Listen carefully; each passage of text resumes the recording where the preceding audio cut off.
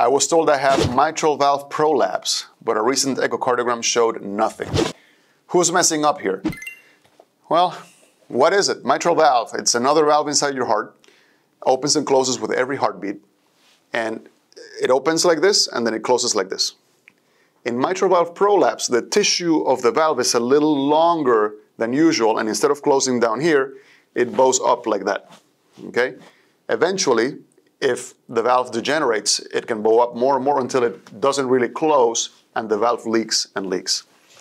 Mitral valve prolapse is very, very, very common, and there's different degrees of severity.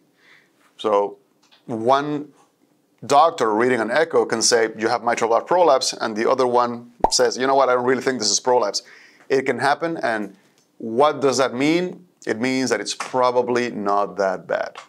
So if you had an echo saying you had mitral prolapse and another one not mentioning it, you can ask the person that read your most recent study to review it.